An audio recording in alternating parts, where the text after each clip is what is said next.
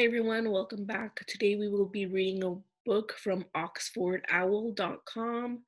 Again, all you need is to create a account with them and then you will have access to free books. And the book we'll be reading today is Winnie and Wilbur Stay at Home.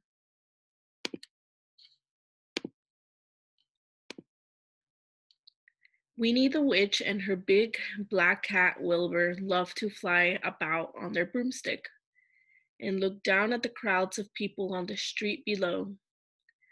But now the streets were empty and Winnie and Wilbur had to stay home. The scientist on the TV said, Stay at home to keep everyone safe. Here are some of the things that you can you must do to stay safe. Blithering broomsticks, cried Winnie. It will be hard staying home all the time. Keep washing your hands and don't touch your face, said the scientist. Wilbur liked to lick his paws and wash his face. So Winnie made Wilbur a special collar. Wilbur didn't want to wear it. He wiggled his tail angrily, which tickled Winnie on the nose. Ah, ah, Winnie went. Be sure to catch your sneezes in a tissue and then throw the, it away, continued the voice of the scientist. A tissue? Winnie went, grabbing the tissues Wilbur handed her. Winnie washed her hands with lots of bubbly soap and sang a song she washed. Rub a dub, pelinkid pink. Washing my hands in the sink, she sang loudly. Wilbur washed his paws too and popped the bubbles as they floated past. Come on, Wilbur, let's find something to do, said Winnie. Wilbur pointed at the computer. I know, said Winnie. We can get fit. Winnie and Wilbur tried out an online exercise class. And now get your hula hoop, said the instructor. One, two, three. Meow.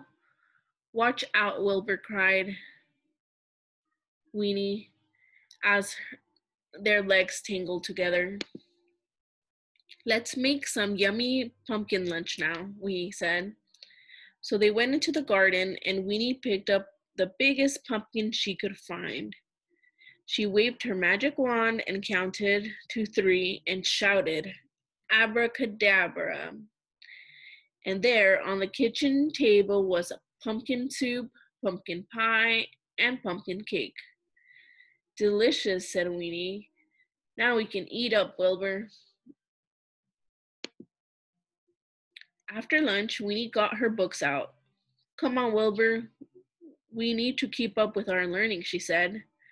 I can help you with your spelling. But Winnie wasn't very good at spelling, and Wilbur had to help her. Meow, said Wilbur. Yes, good idea, Wilbur. Let's paint a picture of a rainbow and put it in our window. But Winnie only had black paint, so she waved her magic wand, abracadabra. Suddenly, there were colors everywhere, and Wilbur looked like a rainbow too. What's that sound? Wilbur asked Winnie. All Winnie's neighbors were outside their homes, making lots of noise. Let's clap as loudly as we can, cried Winnie. Hip hip hooray! Then Winnie had an excellent idea.